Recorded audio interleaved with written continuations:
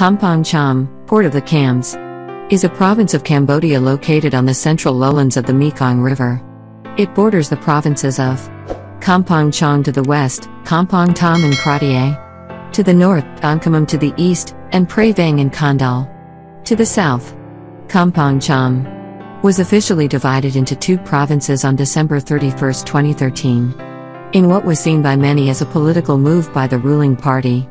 All land west of the Mekong remained Kampong Cham while land east of the river became Tbong Khmum province.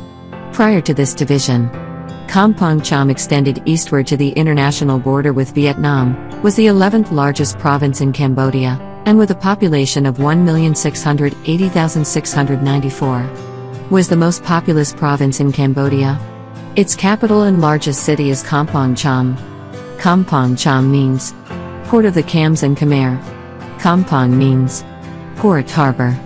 Cham refers to the ethnic Cham people living in the province.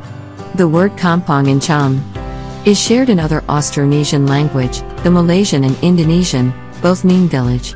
A symbol the province is known for is two snakes wrapped around each other, which located at the capital city bridge, Kampong Cham.